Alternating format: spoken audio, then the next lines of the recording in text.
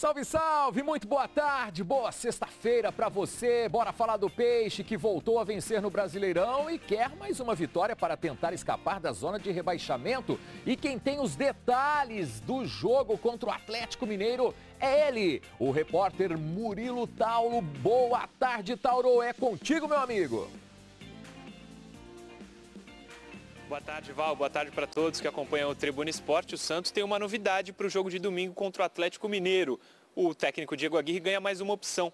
O lateral direito Júnior Caissara, de 34 anos, que chegou nessa semana para o clube, pode jogar. Ontem ele teve o seu nome regularizado pela CBF, o nome dele está lá no bid da CBF. Ele chegou com um contrato até o final desse ano, então ele vai tentar fazer valer a renovação para o ano que vem e já pode ser opção para o jogo contra o Atlético. Inauguração do novo estádio do Atlético Mineiro. O jogo seria às seis e meia da tarde, mas passou, passou para as quatro do domingo. O Santos treinou hoje às 10 da manhã, um treino tático, e volta a trabalhar amanhã também às 10 da manhã. Após o almoço, após o treino, a equipe vai, depois do almoço, já viaja para domingo enfrentar o Atlético Mineiro.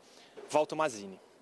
Valeu, Murilão! Bora para mais uma vitória aí, Peixe! Olha só, Neste domingo tem Sereias e Corinthians. Ai, ai, ai. Às 10h30 da manhã é o primeiro jogo das semifinais do Brasileirão. E nós recebemos aqui no estúdio ele, o técnico das Sereias, Cleiton. Sempre é muito bom receber você aqui, viu, Cleiton? Boa tarde. Boa tarde, Val. Boa tarde a todos que estão nos assistindo. Prazer é sempre meu estar com você aqui.